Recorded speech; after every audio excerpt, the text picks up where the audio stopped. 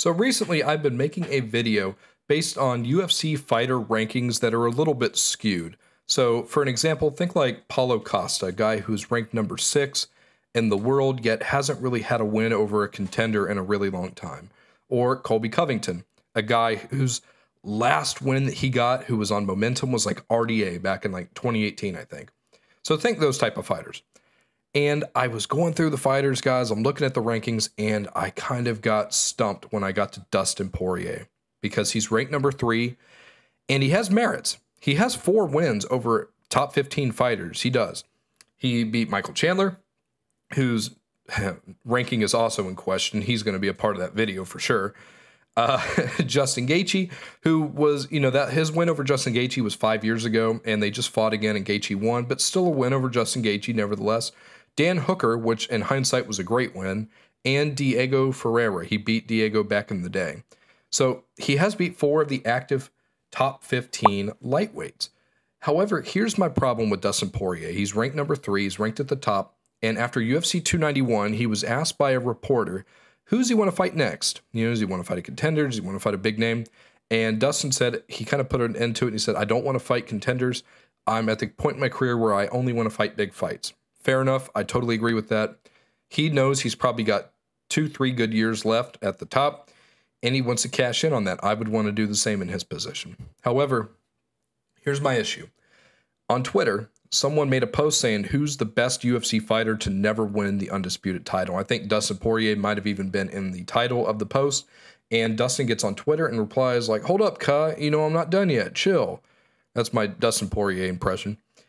And that's that's an issue that's an issue. Unless he plans on moving divisions, I don't. He's not going to go back down to featherweight. He's said that too many times. He's too big, and welterweight, the guys are too big for him. Dustin Poirier is only five foot nine. He does weigh around two hundred pounds. You know, walking around weight. But I just don't really see him at this point in his career moving up to welterweight and going on a title run. Now, I could be wrong, but I'm looking at that division. Dustin has a lot of very difficult matchups. People like to to clown on Belal. Uh, all you know, fair game to that. But Belal is a good fighter. Belal is in his physical prime right now. He's a good, well-rounded wrestler. That's a tough fight for for Dustin. Shavkat Rakhmonov, he's on the come up. That's a very hard fight for Dustin. You know, so these welterweight matchups. I mean, even Colby is a hard matchup for Dustin. So I don't think he's talking about moving up to welterweight and going on a title run. He's talking about staying at lightweight and winning the belt. Now, you can't do that and not fight guys uh, with momentum, contenders that are ranked under you. I have no problem with Dustin Poirier being ranked at number three, but he has to be open to the idea of fighting Arman Tsarukyan, Matt Frevola, you know, Gamrot, like these guys that are ranked under him that are on win streaks that deserve a crack at the top. I'm I'm sick of fighters getting in the top five and, and just sitting there and not fighting the guys underneath them. Like I said, Paulo Costa, Colby Covington, this type of fighter. And I don't want Dustin Poirier to go down that route. I don't.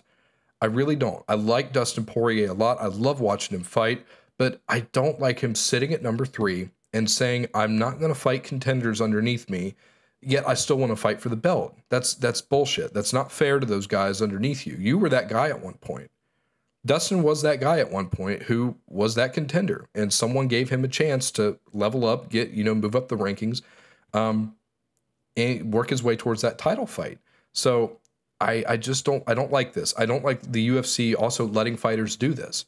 You know, like Colby Covington, who has who has sat in the top five for years and not fought a guy on momentum. You know, Jorge Masvidal coming off two losses and Tyron Woodley coming off two losses. That's on a guy on momentum. That's that's a guy on the downfall. You know, not to mention they were both 40 years old. I don't want Dustin doing that. You know, I, I don't want Dustin fighting Michael Chandler again to get his title shot. You know, that's I like Michael Chandler, not a not a good win to get you into a title shot. You know, like I I don't want to see him and Justin Gaethje doing a trilogy immediately and then the winner gets a title shot. I like both fighters. I love I'm a huge Justin Gaethje fan. I want to see one of these guys ranked from like 5th to like 12th getting a shot at the top 5. I, I am sick and tired of these fighters just sitting in the top five and not fighting. You need to be fighting. Uh, another good one is Brian Ortega. Brian Ortega is a guy who has not won a fight since Korean Zombie in 2020, yet is still ranked number three. Maybe maybe Brian Ortega has some dirt on Dana White or something. Maybe maybe Brian Ortega has some some information that that the UFC doesn't want us to know, and that's how he has stayed in that spot. Because I think it's ridiculous.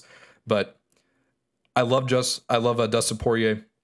I would love to see him become a champion, and I want to see him in big fights. But he's got to fight a contender if he wants to get a ch- a championship shot in the lightweight division again. He's already got two shots. He's already had two title fights in the lightweight division. So he's gonna he's got to earn that third shot. It's very rare that a fighter gets a third chance. Uh, it seems like Justin Gaethje's going to get one here soon, but he earned that. He earned that. He fought Rafael Fiziev and beat Fiziev in the stand-up. I thought that was so impressive. A lot of I feel like a lot of people kind of downplayed that win and said that that maybe Fiziev isn't that bad. I just think Justin Gaethje is that good. I thought he was going to win that fight going into it, and I was so happy to see how he won the fight.